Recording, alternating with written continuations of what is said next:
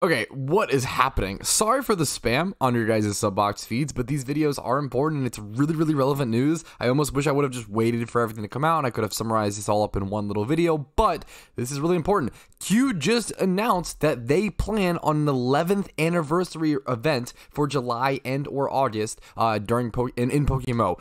That's crazy. They just announced an 11th anniversary event. We now have confirmed, we now have confirmation that uh, the anniversary event is coming back, and I would love to see it happen annually, happen yearly. I have a video, I believe it came out about this already. Hopefully, it's not scheduled to discuss whether it's not, whether it's coming out or not, theorizing because it's a little late then, but uh, that's crazy. That's a big deal. Anniversary events are now coming back, hopefully yearly. That's nuts. That's it. That's all the news, though.